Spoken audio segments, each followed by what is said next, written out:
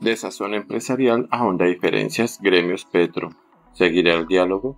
Al realizar un balance de los resultados del encuentro entre el presidente Gustavo Petro y el Consejo Gremial Nacional para los Empresarios quedó una sensación de desazón porque no se alcanzó un acuerdo concreto. En el resumen que hacen los empresarios sobre la reunión es que solo hubo un diálogo cordial, pero más allá de eso no se dieron ningunos resultados. Por ejemplo, el presidente penalco Jaime Alberto Cabal, pese al tono amable en el que transcurrió el encuentro, los empresarios industriales manifestaron que no hubo muchos avances precisos alrededor de varios temas, pero se insistió en llegar a un acuerdo nacional. Faltó concretar qué hacer de aquí en adelante, dijo el presidente penalco Jaime Alberto Cabal a la salida de la reunión. Nuevamente mostramos la voluntad de tender puentes, buscar acuerdos y construir sobre las diferencias, especialmente en temas de seguridad, reactivación económica y reformas sociales, agregó Cabal. Dijo además que en la reunión manifestamos nuestras inquietudes en el tema de seguridad y la necesidad de trabajar en la reactivación económica. Lo más concreto que quedó para seguir es ver cómo buscamos salidas a las bajas de las tasas de interés. El presidente habló de temas de tierras, pero no hubo mucha concreción. Le propuse a la ministra de Trabajo que pusiera y honrara ese compromiso de abrir espacios y concertar, que no se ha dado con los sectores que representamos más la generación de empleo. Lo que hemos dicho es que para miles de comerciantes de este país, como los pequeños, los costos laborales les van a impactar en sus márgenes y en la posibilidad de generar más empleos, aseguró Cabal. Sin peleas, por su parte, Camilo Sánchez, presidente de la Asociación Nacional de Servicios Públicos, Andesco, señaló que la mejor noticia para el país es que el gobierno y los empresarios no están de pelea. Según Sánchez, existen varios puntos de encuentro entre el gobierno y los gremios, pues ambos defendemos el empleo formal y hacemos todo lo necesario para crear industria y ayudando para la política pública que desarrolla el país hay acuerdo en trabajar en equipo y poner metas para desarrollar en los próximos meses y que sean los resultados en beneficio de todos, pero aclaró que no van a caer en la tentación de pelear por pelear. A mucha gente le gusta ver pelear a las partes, pero no vamos a caer en eso, comentó.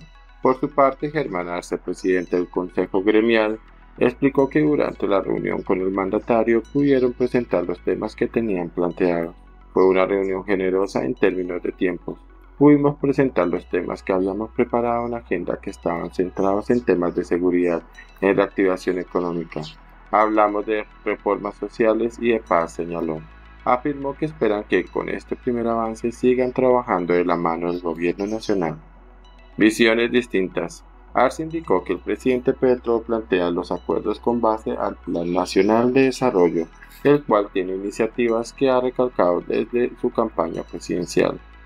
El presidente cuando habla de un acuerdo lo aterriza en el Plan Nacional de Desarrollo, que son las iniciativas que trae desde la campaña. Alguna de esas iniciativas tiene coincidencia con los temas que están planteados en la agenda. Sin embargo, teníamos una urgencia para plantearle el deterioro de temas de seguridad y más por el impacto que tiene en la economía, dijo.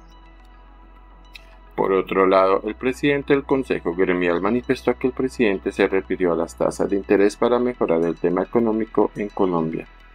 Tal vez lo de la reactivación el presidente no lo ve de la misma gravedad nuestra, pero lo de las tasas de interés es uno de los temas de la reactivación económica, aunque necesitamos ser capaces de poner las propuestas en acción, expresó.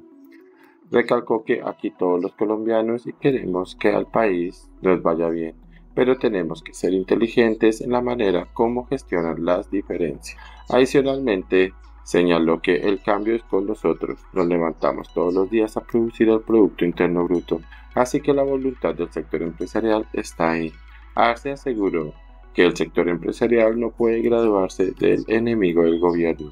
Producimos el 80% del Producto Interno Bruto PIB, pagamos el 80% de los impuestos, generamos el 75% de los empleos formales. Claro que el cambio y claro que las transformaciones son con el empresariado, pero para eso tenemos que cambiar la manera en la que estamos trabajando, porque no vamos bien en este año. No hemos logrado avanzar en muchas de las discusiones y vuelvo e insisto, haciendo lo mismo no vamos a tener resultados distintos. Nuevo tono, A su vez, el presidente de la Andy, Bruce McMaster, dijo que fue una reunión cordial. Puede ser un nuevo tono, claro, sin compromisos ni próximos pasos. Entre tanto, el presidente de Analdex, Javier Díaz, que es el gremio del comercio exterior, también se refirió a la reunión con el presidente Petro. Hablamos los temas con total sinceridad, pero no se llegó a acuerdos. En el encuentro los empresarios le manifestaron al jefe de Estado la necesidad de un plan de choque urgente para que se logre impulsar la economía del país. Además, le hablaron de la grave problemática de inseguridad que se está registrando en el país y que le pone freno a la posibilidad de una posible reactivación económica en estos momentos en los que se empieza a sentir los efectos de la desaceleración en la producción.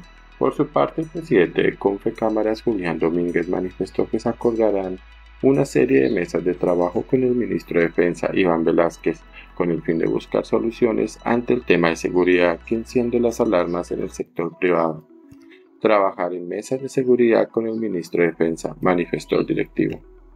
La posición del gobierno. Para el gobierno, el acuerdo nacional focalizado en el Plan Nacional de Desarrollo, Transición Energética y cómo avanzar en el enfoque de derechos para los colombianos fueron los temas planteados en la reunión. El presidente expuso cómo busca la industrialización de Colombia a través de la adopción de una economía descarbonizada que haga tránsito hacia las energías limpias, movilidad eléctrica y producción sin carbono. El jefe de Estado precisó que el Acuerdo Nacional debe estar sintonizado con el Plan Nacional de Desarrollo, ya que este es ley de la República, comentó la ministra de Trabajo, Gloriana Ramírez. Puso como ejemplo el trabajo en equipo entre los sectores público y privado para la transición energética y la búsqueda de alternativas para que Colombia pueda avanzar también en el enfoque de derechos. En la reunión, que se extendió dos horas, hubo también la oportunidad de hablar de la reforma laboral. La reforma avanza, el diálogo continúa y desde luego hoy estamos en la cancha del Congreso de la República donde habrá debates abiertos, aseguró. Estamos abiertos, tendremos mesas de trabajo que nos permitan efectivamente seguir fortaleciendo la reforma laboral. No es la hora de descalificación, es la hora de proponer y avanzar.